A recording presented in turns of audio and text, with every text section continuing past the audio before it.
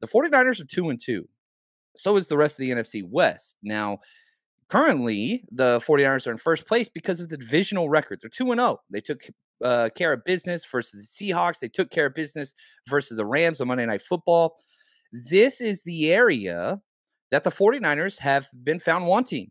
These games that they should win against lesser opponents on the road Chicago Bears, Denver Broncos. These are the types of games, not so much that define your season, but they're the type of games that get your win loss record where it should be if you want to be a playoff team. And make no mistake, the 49ers not only want to be a playoff team, they are going to be a playoff team. So while this game, again, the spread, Vegas, I mean, they're almost a full touchdown favorite on the road, which is very rare. This game matters. And it matters to a lot of players on the 49ers organization because of some ties, some connections. We'll jump into that. Now, let's focus on the Panthers. They're struggling. Make no qualms about it. Front office, head coach, quarterback, offensive line it is just bad, bad, bad, bad. Um, they started 0 2. They lost to the Browns. Then they lost to the Giants. Um, you know, got their first win versus the Saints, which was a good win. A lot of injuries for the Saints, but it's just, it's different. They have not played anybody like the 49ers. The 49ers defense is unreal. There's no doubt about it. Since week one, they have only given up 18 points and one touchdown in three games. Um, is the Carolina Panthers offense going to be striking fear into this defense? I do not believe so. Yes, CMC is incredible. We'll talk more about that. But let's hope that just like last year in 2021, a blowout victory against the Rams on primetime football vaulted the 49ers last year. They went on and won three straight after that, won five of their next six. And that kind of changed the season. Remember, they were three and five before that win last year against the Rams. This year, they were one and two. So they didn't dig as deep a hole as they did in the previous year. And hopefully they can spring out of that. They're already in first place. And if we just look again, comparing 2021 to 2022, the NFC record after week four in 2021 was 11 and 5, the combined of the four teams in the division. This year, yeah, every team's two and two. It's pretty simple to figure out. They're eight and eight. So while you got two things working for you, number one, you're not in near as big a hole as you were last year at three and five, right? You're not there. Two, your competition is not near as good. 11 and 5 last year record, 8 and 8 this rec- this year. We were in third place, now we're in first. You see the difference there? Um, and so again, that Monday night game was huge. Can they use this as a launching point to prove to themselves? I think the defense has proven to the world they're for real. They're the best in the NFL. There's no doubt about it.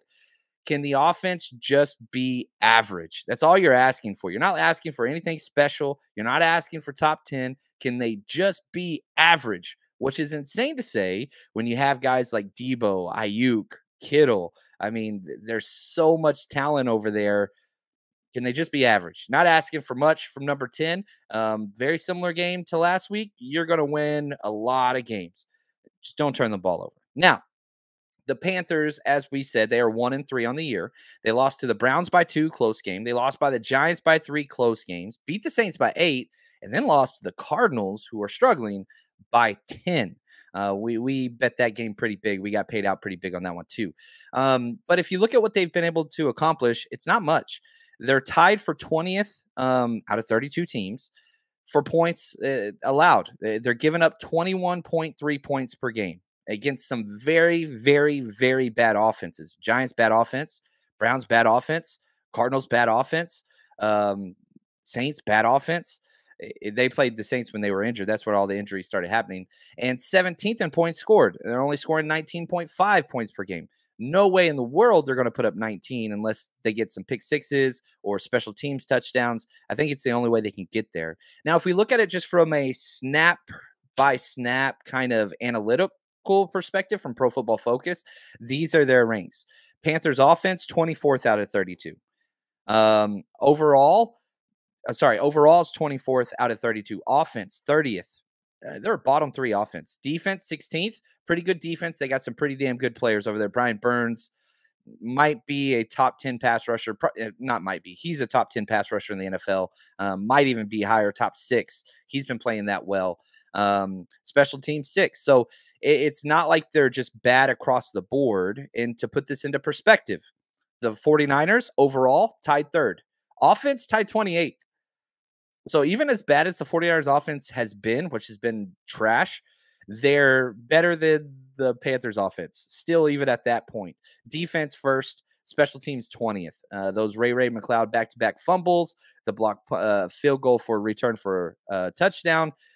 Even though the special teams has been so much better, it's crazy to say that 20th overall is an improvement, but it's a stark improvement. It's a big improvement over Richard Hightower in the previous five years in the Shanahan regime. So 20th, it sounds bad because it's below average, oh boy. Um, if you would have told me we'd have the 20th special teams unit um, four weeks in, I would have I'd sign me up, baby. I'm totally down. Now, head coach Matt Rhule for the Carolina Panthers is interesting. To say he's on the hot seat is that's an understatement. He probably going to be the first coach fired. And, you know, he came over from Baylor. He's a good college coach that builds a good, you know, whatever culture. That's what they always say, right? He's 11 and 26 in his third season. Has completely mismanaged this roster. Um, it's been very, very bad. The getting Teddy Bridgewater, who's the best quarterback they've had during this time, and then taking they they sold him for pennies on the dollar and took all of the salary cap hit to get worse at quarterback with Sam Darnold. Then they did the same thing this year with Baker Mayfield. Uh, to think that they could have had Jimmy Garoppolo Oh, they, yeah, they totally screwed the pooch on this one. And when they fired Joe Brady, their offensive coordinator, a year ago, it just set the clock ticking. Um, this is going to be Matt Rhule's last year. I did put some money down in the offseason on him being the first coach fired. It's, I'm telling you, man, uh, the, the, the crows, the vultures, they are circling, and it is only a matter of time.